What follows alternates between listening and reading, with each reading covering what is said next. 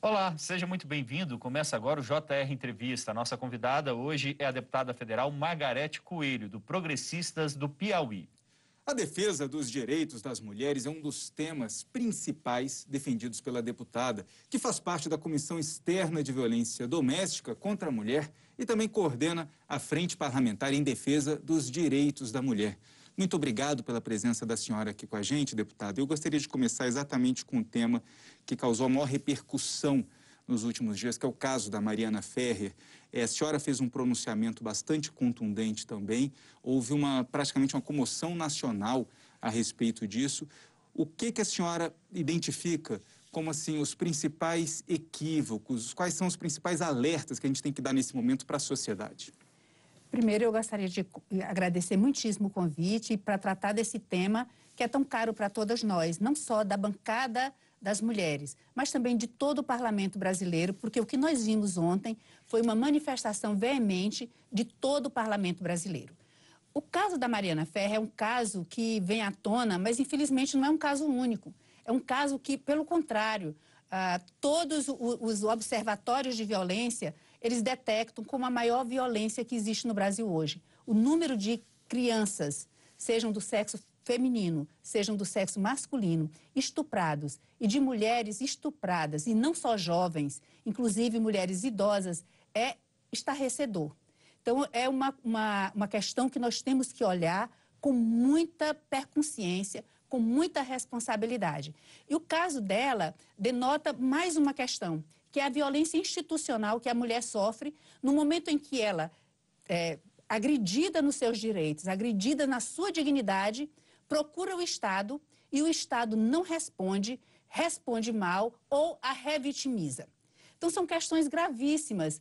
Se você olha um boletim de ocorrência de uma pessoa, de uma mulher vítima de estupro, a primeira pergunta é se a vítima era virgem, se o desvirginamento é recente. Isso é um constrangimento enorme para a vítima responder, porque isso, inclusive, não interessa.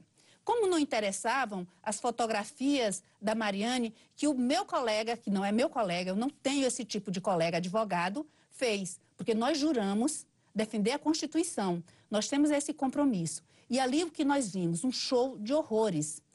Toda, todos os representantes das nossas instituições democráticas falhando vergonhosamente no seu papel. Então, é um caso que alerta para essa espécie de violência que é presente, que é constante, que é grave e que nós ainda não desvelamos, nós ainda não abrimos essa caixa para a sociedade. Deputada, ali na audiência né, que chocou todo o país, aqueles tipo de questionamentos né, de forma agressiva por parte do defensor, do, do acusado, e a omissão ali, que a gente não teve acesso a todo o vídeo, né, mas na parte que a gente pôde ver, a omissão do Ministério Público e do juiz de direito, esse tipo de situação, na visão da senhora, que é uma parlamentar, ocorre com muita frequência? Ocorre com muita frequência. As delegacias das mulheres, elas passaram a existir exatamente por isso, pela frequência com que esse tipo de abuso, esse tipo de, é, de desacato acontece com as mulheres vítimas de violência. Quando elas se dirigem às delegacias, quando elas se dirigem às instituições, quando elas, por exemplo, estão é, até no sistema de saúde é, como parturientes. Olha o número de mulheres que morrem né, nos corredores dos hospitais quando estão para dar à luz das suas filhas se elas forem é, de pele preta. Então, isso tudo é, é, des, desvela esse, esse arcabouço de violência que é praticado contra as mulheres. Do, meu, do nosso ponto de vista, o que nós defendemos e que já pugnamos perante o senhor ministro da Justiça é que haja um protocolo claro de atendimento às mulheres que se dirige ao sistema de segurança pública. Delegacia, qualquer juizados, delegacia, juizado, promotoria, quartel de polícia, onde for. Tem que ter um protocolo, porque eu acho um absurdo nós precisarmos ter delegacia da mulher, como acho um absurdo nós precisarmos ter vagões para as mulheres nos trens, para que elas não sejam assediadas ou incomodadas. Então, um protocolo único, a fim de que qualquer delegacia que a mulher chegue, qualquer ambiente é, do, do, sistema de segurança público que ela seja, ela seja obedecido aquele protocolo. Assim, nós não precisaremos mais de ter é, qualquer órgão especializado no atendimento da mulher. Nós não devemos precisar disso. Lamento que a gente precise. E, infelizmente, nós tivemos que, uh, recentemente, debater com o Ministério da Justiça um protocolo investigativo de feminicídio sigiloso. Como que um procedimento que tem que ser adotado por todos, controlado pela sociedade, para entender se estão, estão sendo atendidos os requisitos mínimos para aquele serviço, pode ser sigiloso. Um protocolo, seja investigativo de feminicídio, seja investigativo de estupro, seja no atendimento da delegacia, ele tem que ser público, aplicado desde a pessoa que serve o cafezinho até o delegado de polícia, até o senhor juiz, até o senhor ministro. Todos têm que atender aquele protocolo, porque é isso, né, é isso que a dignidade humana exige e impõe.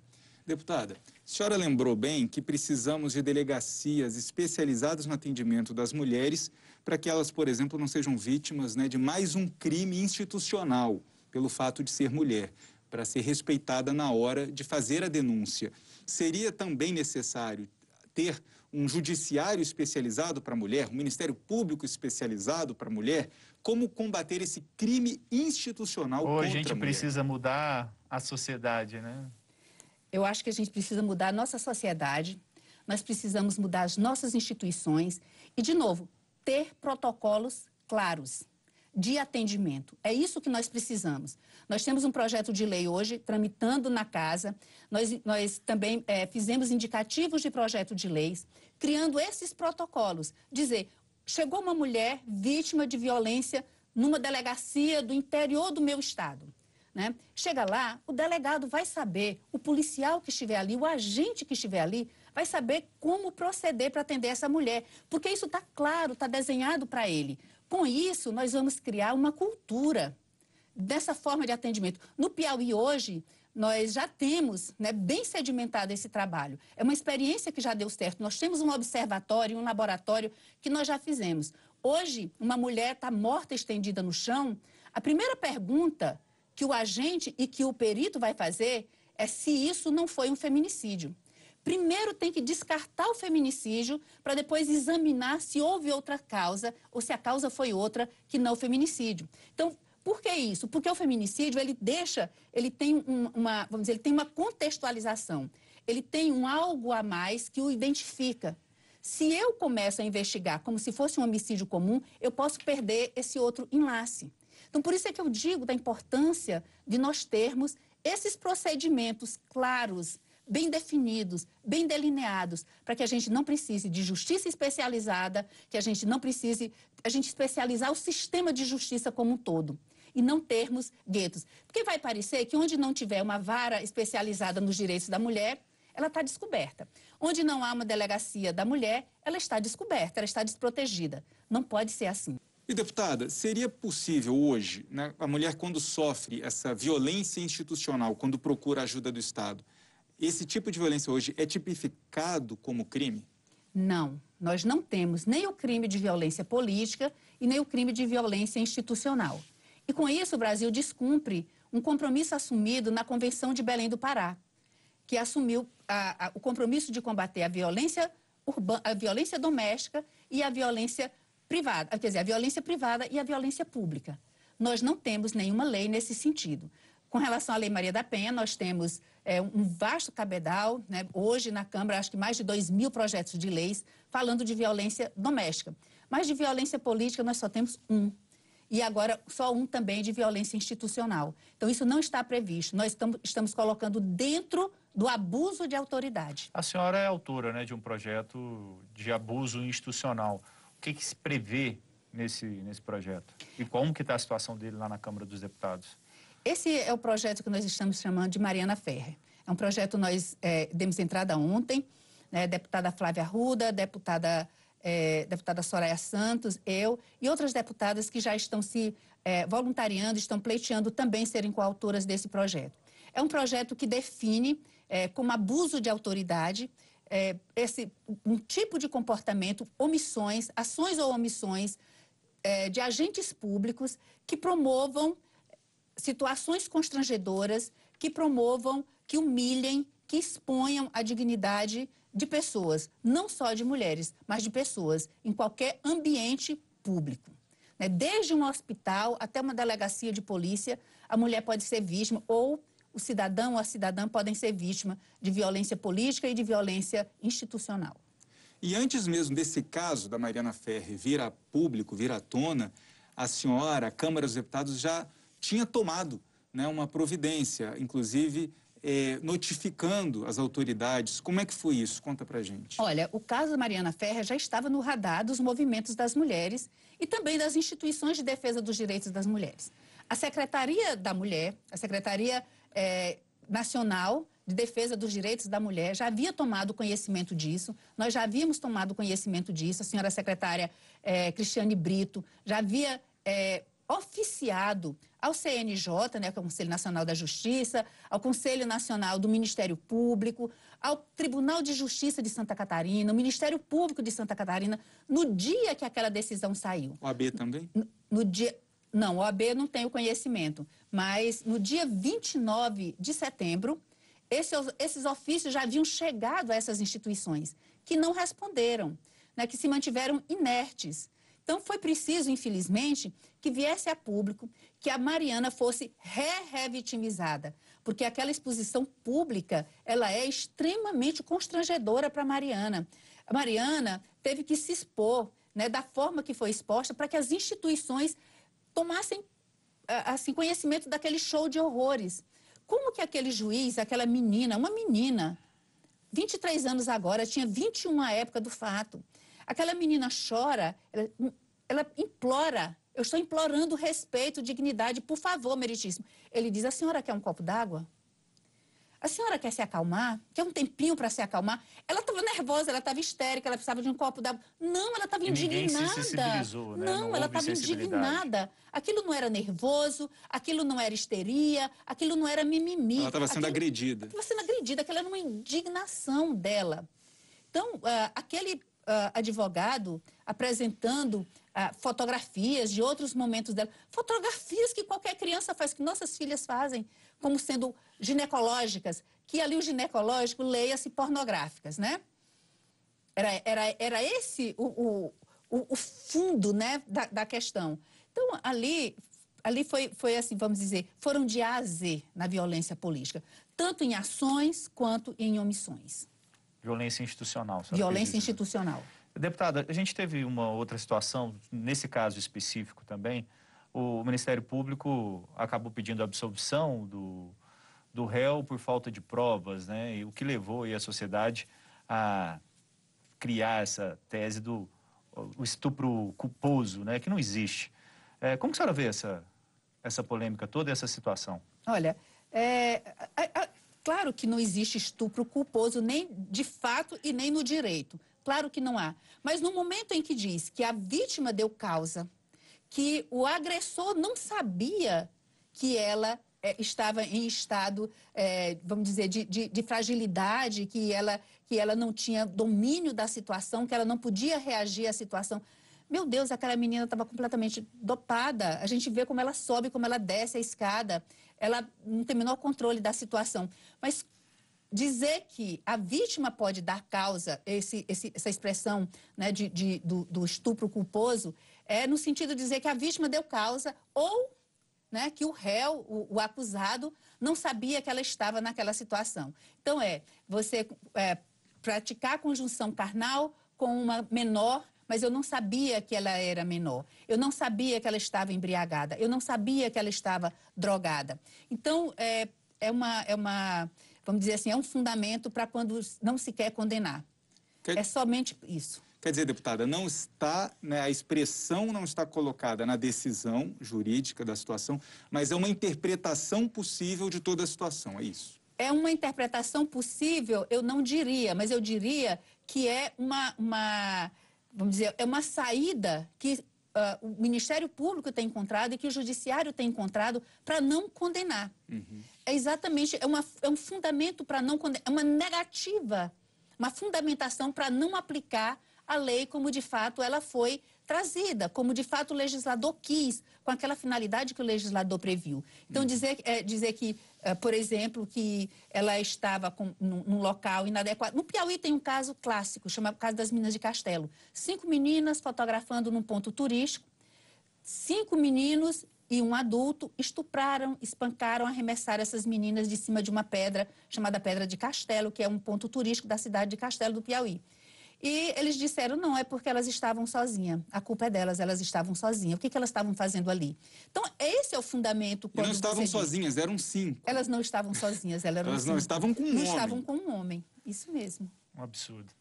E você pode assistir ao JR Entrevista na Record News às 10h40 da noite, no portal R7, no Play Plus, no Jornal da Record, no JR 24 horas, à meia-noite e meia, e também nas nossas redes sociais. Deputado, eu gostaria de mudar um pouquinho de assunto, falar sobre a representatividade feminina. Vamos falar, dar como exemplo a Câmara dos Deputados. São 77 parlamentares, 15% só das cadeiras, né? Nós temos 513 deputados. O que falta para aumentar essa representatividade feminina na política, especificamente na Câmara dos Deputados e também no, no geral? Né? Eu acho que falta um comprometimento maior das instituições democráticas. Os partidos políticos receberam, é, vamos dizer, grandes benesses da nossa Constituição. Tem a exclusividade das candidaturas, são os titulares dos mandatos, né? O Supremo já disse que o mandato é do partido, não é do parlamentar, já disse isso. É, tem fundo nas eleições partidário. proporcionais. Né? Isso, nas eleições proporcionais. Tem o fundo partidário, tem o fundo eleitoral, tem o tempo de antena de rádio e TV. Tudo isso para incentivar a democracia. Mas os partidos políticos permanecem sendo um campo muito inóspito para as mulheres. Elas não presidem os partidos. Na Câmara, depois que elas são eleitas, elas não estão, não lideram dos partidos e, portanto, não estão naquele espaço onde é, as relatorias são distribuídas, as pautas da casa são feitas. Então, não há esse, esse estímulo. As mulheres são sempre vistas como, é, como aquelas que não gostam do poder. E Ou esse seja, é um defeito temos... que, né, porque todo ser humano gosta. Você acha que deveria ter cotas também, então, na, nas lideranças na, dos partidos, no, nas, é, entre os dirigentes partidários? Eu acho que os partidos deveriam fazer isso como, ah, vamos dizer, como seu dever de casa, espontaneamente. Onde as cotas elas são voluntárias, que os próprios partidos se impõem, elas são mais eficientes, porque é um compromisso do partido com ele mesmo. Em alguns países do leste europeu, os partidos usaram esse tipo de cota como uh, uma forma de se diferenciar dos demais, como um atrativo a mais, porque em todo lugar do mundo as mulheres são maioria dos eleitores. Então, como atrativo para esse segmento votante, né, esse segmento que produz política, seria, seria uma grande, uma grande é, vamos dizer, seria um dever de casa, seria o partido político retribuir o que a democracia fez com eles. Mas os partidos não fazem isso, não indicam as mulheres para os cargos de, de poder. Você não vê ministras, secretárias, é, enfim, diretoras, mulheres, porque ali é um espaço de formação de capital político. As mulheres, elas são sempre vistas né, na na franja né, do poder político. Mas, deputada, seria mais eficiente, então, uma cota, em vez de número de candidatos de cada partido, uma cota de vagas já na Câmara, os deputados e no Senado, por exemplo?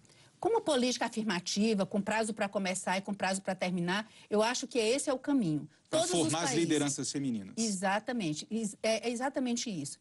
E todos os países que conseguiram chegar a alcançar uma paridade, não uma paridade efetiva, numérica, mas uma paridade, no mínimo, de representatividade, passaram por esse caminho. A Argentina agora né, já tem cotas em listas. Nosso sistema é complicado, é uma lista aberta e, além de tudo, é cota de, candidat... é cota de candidatura. Mas nós temos vários projetos de leis, uma PEC, a PEC 134, que está tramitando na casa agora e que o presidente da casa, presidente Rodrigo Maia, já se comprometeu de votá-la até o final do seu mandato. O mandato dele termina agora em fevereiro. estabelece o quê? Ela estabelece uma cota de cadeiras, uma reserva de cadeiras no parlamento. Né? É uma, uma... 30% também? Ai, quem dera. Não, Não, conseguiremos chegar aos 30%. Ela prevê uma gradação, né? De 10 no primeiro ano, são três legislaturas. Mas hoje nós estamos com 15. Já estamos com 15. 10, 10 no primeiro ano, 12 no segundo, 16 no terceiro Ou seja, não teria um efeito prático. Imediatamente não. Imediato. Teria, né? E teria. Claro que nós não estamos trabalhando com esses percentuais, a gente está procurando formas regimentais de a gente ter outros percentuais. É que essa PEC ela já tramitou até um certo ponto, ela está pronta para ser votada. Nós podemos fazer destaques nela e trazer para uma realidade mais próxima da atual, mas muito longe ainda da ideal. Mas tem um grande ganho, mesmo que nós começássemos com 10%.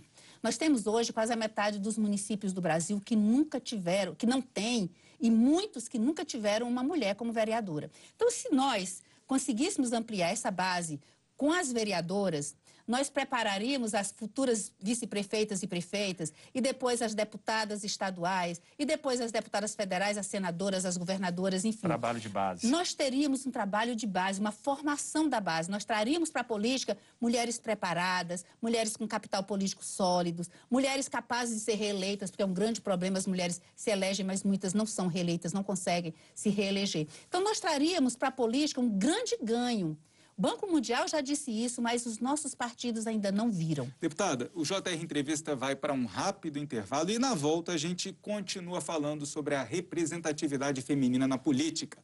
Não saia daí. Estamos de volta com o JR Entrevista. Aqui com a gente a deputada federal Margarete Coelho, do Progressistas do Piauí. Deputada, a gente está poucos dias aí das eleições municipais e a gente estava falando da representatividade feminina. A senhora percebe algum movimento de avanço nessa questão ou não? Ah, eu percebo sim. Eu percebo a partir de um movimento também nosso, das mulheres. A questão das candidaturas fictícias, eu percebi os partidos políticos muito engajados nisso, no recrutamento. Só, só, só é importante a gente explicar, porque nas eleições de 2018, é, existe uma cota, né, para quem está nos acompanhando, existe uma cota de 30% para candidaturas femininas em cada partido e houve um grande número de candidaturas fictícias, laranjas, que os partidos usaram só para preencher vagas.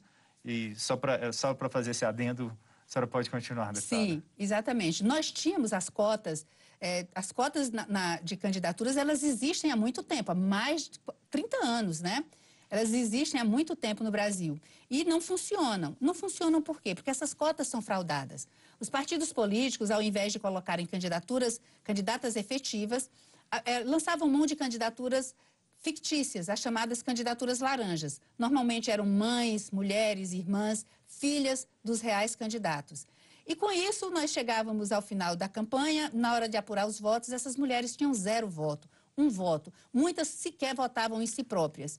Então, isso pro promoveu, despertou né, um grande movimento contra esse tipo de, é, de estratégia dos partidos. Começou no meu estado, no Piauí, primeiro com o caso de José de Freitas, depois com o caso de Valença, em que, se detectada fraude na formação da chapa, cai a chapa inteira. Isso aconteceu agora no caso de é, Valença do Piauí. Pois bem, os partidos políticos agora ficaram mais atentos no recrutamento dessas mulheres. Eles foram procurar mulheres efetivamente candidatas, investir nessas candidaturas, se preocupar com a formação e, mesmo fora dos partidos, nos movimentos sociais, foram muitos movimentos de mulheres fazendo é, cursos preparatórios para mulheres de carreira política, por assim dizer. Ontem mesmo eu dei uma aula num curso desse. Então, preparando candidatas para que elas possam realmente, efetivamente, concorrer, saber do que, é, do, do que, que elas estão tratando, pedindo voto para elas e não mais para os outros. Então, eu percebi muito fortemente esse movimento e eu estou muito esperançosa de que talvez nós não tenhamos mais esse munic esses municípios zero mulheres nas câmaras agora a partir de 2021. Até porque, deputada, temos mais eleitoras do que eleitores em todo o Brasil. É claro que a situação em cada município pode ser um pouco diferente, mas no geral, as mulheres são maioria. Se elas decidirem votar somente em mulheres, os homens estão perdidos, né? Por isso é que eu aviso sempre para eles, fiquem ligados, porque na hora que as mulheres decidirem votar só em mulheres. E aí eu queria lembrar de uma falácia que dizem muito que, ah, que a mulher não se elege porque a mulher não vota em mulher. Na verdade, isso realmente é uma grande falácia. Nós somos menos candidatos. São 70% de candidatos homens, só 30% de candidatas mulheres. E nem todas são efetivamente candidatas. Como a gente lembrava, poucas delas fazem campanha. Tem recursos para tocar uma campanha. Tem tempo para se dedicar às campanhas, porque tem muitos afazeres domésticos. São, são muitas vezes as, elas que sustentam a casa e mulher não quer tirar do seu dinheiro, da escola do filho, para gastar na campanha. E campanha se gasta dinheiro. A parte, grande parte das mulheres que estão na política, elas são profissionais liberais, portanto, elas saem dos seus negócios para fazer política e isso já provoca uma queda na receita. Enfim, tem, todo, tem todos esses, esses esses percalços que as mulheres têm que enfrentar. Mas mulher vota em mulher sim. Mulher é muito exigente. Eu queria só lembrar que o segmento que escolhe por último, que decide por último, são as mulheres. Não porque elas sejam naturalmente indecisas, né? mas porque elas escolhem com muita responsabilidade. Então, elas não votam em mulheres que não estão na campanha. Então, veja, se somos menos, se poucas candidatas ainda fazem verdadeiramente campanha, vão ser menos eleitas. O problema não é que mulher não vota em mulher, é que elas não têm mulheres para votar. Deputada, eu só queria retornar um pouco à sua primeira resposta. Nessas duas cidades do estado da senhora, Piauí, é, as chapas foram inteiramente derrubadas pela Justiça Eleitoral? Olha, primeiro, não tínhamos. A, a lei de cotas, ela é uma lei, como eu digo, uma lei de degrau quebrado. É uma lei que dizia que os partidos tinham que ter 30% né, de, de, de candidaturas para femininas. Um, para um dos, é, para 30, um dos sexos, é, né? No, mas ficou para as mulheres, claro, né? É menos. Mas 70% no máximo para um, 30% no mínimo para outro sexo. É, então, que, é, dizia isso, mas não trazia nenhuma sanção para o partido, nenhuma pena, nenhuma punição para o partido que não apresentasse essa chapa dessa forma. Então, o que, que os partidos faziam? Colocavam essas mulheres laranjas, nessas candidatas laranjas, né, para concorrer. De qualquer forma. De qualquer né? forma, sem de qualquer jeito, sem estrutura, sem dinheiro. Muitas delas sequer sabiam que eram candidatas, falsificavam os documentos e as aquiescências delas, nem sabiam que eram candidatas. Então, o que, que, é, é, o que, que acontecia? Nós não tínhamos um instrumento jurídico para provar essa fraude, dizer uma definição desse fato como fraude. Então, no caso de José de Freitas, nós ingressamos com todas as ações eleitorais existentes. Não importa que ela não tivesse nada a ver com contagem de voto, nós entramos com todas. O que, é que nós queríamos? Desafiar a justiça a nos dizer que não existia uma ação própria para se provar fraude em chapa de mulheres, em chapa de candidaturas. E aí sim a gente entrar no Supremo com uma ação por descumprimento de preceito fundamental, dizendo que estavam nos negando acesso à justiça. E até chegar ao TSE, nós levamos toda uma legislatura para chegar ao TSE, o TSE dizer, não, isso é fraude e é punível. E o instrumento é ação de impugnação de mandato eletivo e ação judicial eleitoral, duas ações típicas eleitorais. Mas não podemos dizer qual a consequência. Agora, nessa eleição passada, no, no município de Valença, aí sim, nós já dissemos, olha, aí, já, já, tínhamos um, um, uma, uma, um, instrumento. um instrumento típico. Agora, qual é a consequência? E mais uma vez chegamos até o TSE, para o TSE dizer: não, não, tem razão, fraude, quem se beneficia da fraude perde o mandato, isso é uma regra geral do direito eleitoral, e, portanto, quem se beneficiou, todos que estão na chapa, se beneficiaram sim, porque a chapa não seria registrada se não tivesse as mulheres laranjas uhum. lá, cai todo mundo. E caiu e caiu e não voltou. Então foi aquela perplexidade. Que absurdo, né? E aí todo mundo agora querendo e acabar agora com existe as um precedente, né? Que sirva de exemplo, que né, sirva de exemplo. E hoje na Câmara dos Deputados nós temos em discussão as reformas tributária e administrativa. A senhora faz parte da subcomissão que trata da reforma política. Sim. Que reforma é essa, deputada? Temos chance de mudar alguma coisa? A reforma política ela tinha que ter andado esse ano, mas nós paramos muita coisa por conta da pandemia. Nós tivemos que escolher aquelas pautas, escolher não, nós tivemos que nos dedicar às pautas voltadas para a pandemia. Poucas fora dela, do Fundeb, por exemplo, a gente conseguiu andar, tocar, graças a Deus, mas assim, é, as demais ficaram paralisadas. A reforma política, ela vem exatamente primeiro. Nós temos que reavaliar nosso sistema político. Ele é, tem dado conta, ele é o mais adequado? Como esse sistema político promove e fortalece a democracia, ou ele é caótico e ao ponto de, de ou, e não funcional ao ponto de prejudicar o fortalecimento da democracia. A questão do nosso do, do, do sistema eleitoral, essa, essa nossa legislação, essa forma de ver candidaturas é, candidaturas proporcionais, candidaturas majoritárias ou não. Vamos mudar sistema, vamos para sistema é, misto, vamos para um sistema de, é, de, de, de, como todo, todo mundo chama, né, dos do chapões. Como é que nós vamos fazer? Então, é toda essa rediscussão. Porque o nosso sistema político, o nosso sistema eleitoral, ele vem sendo paulatinamente emendados. Nós vimos de uma tradição no direito eleitoral de leis casuísticas. Cada eleição tinha sua lei. E isso não se formava uma jurisprudência, não se formava uma doutrina, não se formavam conceitos e princípios. Então, agora não. Nós queremos é, ter uma legislação que reavaliar nossa legislação. Nosso Código Eleitoral é de 1934, é um decreto, é um decreto que a Constituição recebeu como lei complementar. Então, imagine, ainda grande parte dele ainda se dedica à votação manual, que há muito tempo nós não temos. Então, nós temos que reavaliar isso. É um é um patchwork, né, uma colcha de retalhos toda emendada e que não é disfuncional completamente. Obrigado. Então é isso que nós queremos fazer. Perfeito. A gente faz mais uma rápida pausa e no próximo bloco vamos falar de educação. Até já. Estamos de volta com o JR Entrevista. E a nossa convidada hoje é a deputada federal Margarete Coelho, do Progressistas do Piauí. Deputada, a senhora acaba de lançar o livro O Teto de Cristal da Democracia Brasileira. Do que ele trata? Ele trata do abuso de poder nas eleições e trata do abuso de poder político contra as mulheres, trata da violência política. Experiência pessoal. Um pouco experiência pessoal. É, o livro realmente ele é, ele é uma consequência da minha tese de doutoramento, né, com esse tema, eu, eu fiz meu doutoramento em Direito e Políticas Públicas, né, terminei no começo desse ano, e é uma experiência pessoal no sentido de que eu sou professora de Direito Eleitoral há muito, mais de 20 anos, né, advogo na área há mais de 30, me candidatei algumas vezes também, então já tive em todos os lados do sistema, tanto como eleitora, como militante, como professora, como pesquisadora, dos temas referentes à, à democracia e ao direito eleitoral.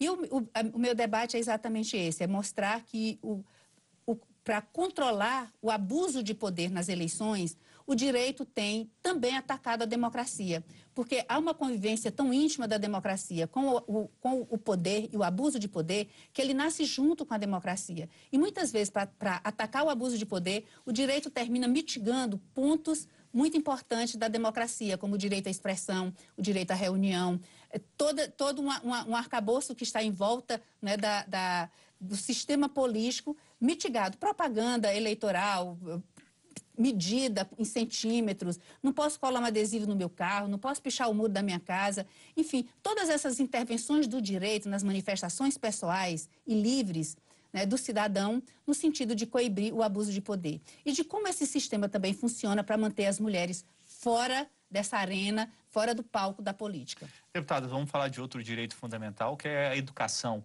A gente está aí com uma pandemia já quase todo o ano de 2020 é, comprometido na questão da educação, né? as crianças é, tendo que estudar à distância. Como a senhora vê ainda o fechamento das escolas? Elas deveriam estar abertas ou não?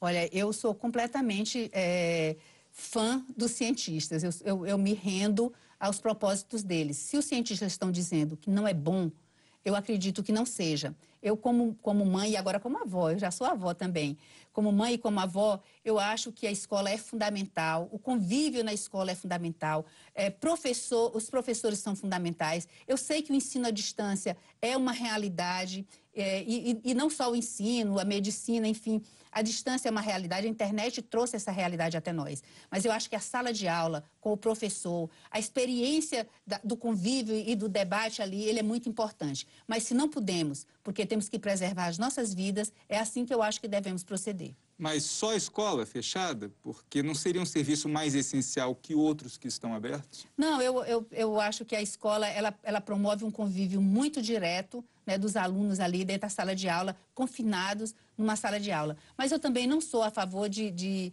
de, de um liberou geral, de um abrir tudo. Pelo contrário, eu que acho. É o que a gente está vivendo, né? Que é o que a gente está vivendo. E assim, a minha região lá no Piauí, a minha cidade principalmente, está tendo um surto enorme né, de Covid, com várias pessoas, inclusive, vindo a óbito, um desgaste enorme para a sociedade e também, vamos dizer, para o poder público, que tem que está tendo que parar tudo e se focar na questão do, do, do combate ao Covid. Acho que os protocolos têm que ser criados com mais clareza. Tá certo que a gente errou muito, mas é porque é tudo muito novo. Quem errou e quem acertou com relação à pandemia, nós só vamos saber daqui a algum tempo. Muito obrigado, deputada. O JR Entrevista fica por aqui. Lembrando que você pode assistir ao programa na Record News às 10h40 da noite, no portal Reset, no Play Plus, no Jornal da Record, no JR 24 horas, à meia-noite e meia e também nas nossas redes sociais. Deputada, obrigado uma vez mais pela participação aqui com a gente no JR Entrevista e obrigado também a você pela companhia e audiência. Até a próxima. Tchau, tchau.